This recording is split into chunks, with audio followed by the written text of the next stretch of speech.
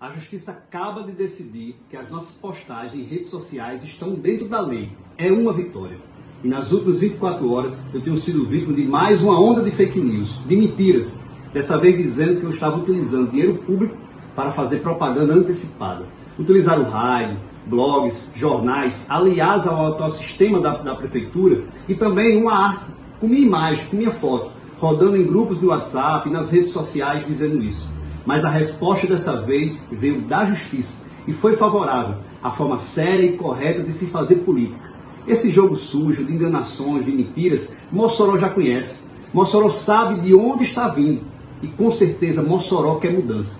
Os meus familiares, os meus amigos estão cientes que muito mais mentiras e fake news ainda vão vir. Mas, claro, sempre a verdade será restabelecida, assim como foi agora. Eu acredito muito nisso, nessa forma de se fazer política de forma séria, olhando olho no olho para as, para as pessoas, falando a verdade. E eu agradeço muito. Se você puder compartilhar esse vídeo e restabelecer a verdade, Mossoró vai mudar.